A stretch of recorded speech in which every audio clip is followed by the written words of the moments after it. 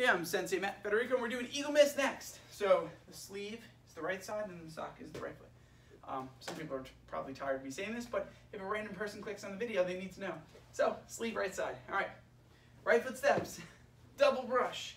So that's no sleeve, sleeve, double step, left foot, right foot.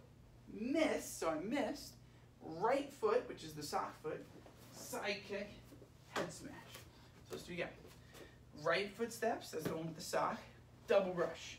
Now it's no sock, turn, step back, sock, miss, knife edge kick, head smash. One more time fast. Double brush, that's two blocks, left, right, double step, left, right, miss, knife edge kick, head smash. Now if you watch this, you're like, oh, it's too much.